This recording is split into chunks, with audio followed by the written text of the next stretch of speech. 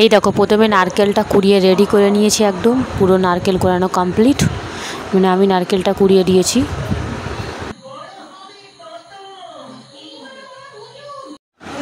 আর এইখানে মা সুজিটা ধুয়ে রেখেছে, আর ওর সঙ্গে চিনি মিশিয়ে রেখে দিয়েছে, সুজি আর চিনি। আর এদিকে দেখো, সুজি আর চিনির মধ্যে এবার নিয়ে নিচ্ছে তাল। তো তালটা দিয়ে একদম ভালো করে ওইটা মিক্স করে নেবে। তো ওটা ভালো করে একদম পুরো মিক্স করে ওটা রেডি করে নেবে মিক্স করে রেডি করে নেওয়ার পরে পরের উপকরণটা এই যে পরের উপকরণ দিয়ে দিচ্ছে হচ্ছে নারকেল কোড়া। যে কুড়িয়ে রেখেছিলাম যে নারকেলটা, সেই নারকেল কোড়াটা দিয়ে দিচ্ছে, দিয়ে আবারও ভালো করে মিক্স করে নেবে। তো ভালো করে মিক্স করে নেওয়ার পরে তারপরের পালা এবার কি দেওয়ার দেখো। ওটা মিক্স করে নেওয়ার পরে এবারে দেওয়ার পালা হচ্ছে ময়দা। তো মার ওইদিকে ওই যে মিক্স করা হয়ে গেছে, তো আমি এই যে চামচ করে ময়দা তুলে দিচ্ছি। মানে যতটা পরিমাণ লাগে। তো সেই ময়দাটাই তুলে দিচ্ছি, কতটা দেয় এখন। মানে যেরকম পরিমাণ মতো লাগবে সেরকম মাখাবে ওইগুলো সব উপকরণ মাখা রেডি এবার দিয়ে দিচ্ছি দুধ। দুধটা ঢেলে দিচ্ছি। তো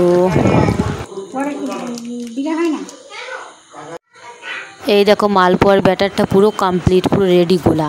তো ওদিকে তেলটাও গরম হয়ে এসেছে, এই যে মায়ে যে ডাবুতে করে দিচ্ছে অল্প অল্প করে। তো কেমন হয় সেটাই দেখার পালা, তো তোমরা দেখো। আর দেখবে অবশ্যই তোমাদের ভালো লাগবে, দেখো। আর আলতো হাতে পুরো উল্টে পাল্টে এদিক ওদিক করে ভালো করে শেখে নিচ্ছে। এটা উল্টে দিল। আর এই দেখো মালপোয়াগুলো কি সুন্দর টোপা টোপা হয়ে ফুলেছে, দেখো সুন্দর হয়েছে একদম। আর এদিকে দেখো উল্টে পাল্টে পুরো এদিক ওদিক করে পুরো ভাজাটা মানে প্রায় কমপ্লিট হয়ে এসেছে এটা ভাজাটা। দেখো একদম পুরো কমপ্লিট সুন্দর হয়েছে একদম।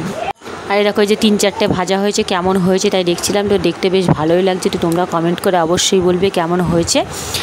আর এদিকে মা আর আমি যেহেতু রান্নাঘরে কাজ করছিলাম তো, আমাদের ফোনটা কে ধরে দেবে তো ফোনটা আমিই ধরছিলাম। তো এই জন্য মা এই যে রান্না করছিলাম ধরে তো দেখতেই পাচ্ছ, আর আমি আমি হেল্পারি করছিলাম মায়ের সঙ্গে।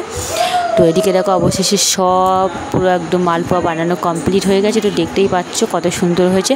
তো তোমরা কিন্তু অবশ্যই কমেন্ট করে বলবে আর কার কার বাড়ি মালপোয়া হয়েছে, তালের মালপোয়া। বুঝতেই পারছ, একটা ইন্টারেস্টিং ব্যাপার। তো এদিকে হয়ে গেল। আর এই দিকে দেখো, তারপরে আমি চলে আসলাম। ভাবলাম এত সময় ক্যামেরা করলাম। আমি যদি তোমাদের সামনে না আসি ঠিক ব্যাপারটা ভালো দেখায় না। তো চলো।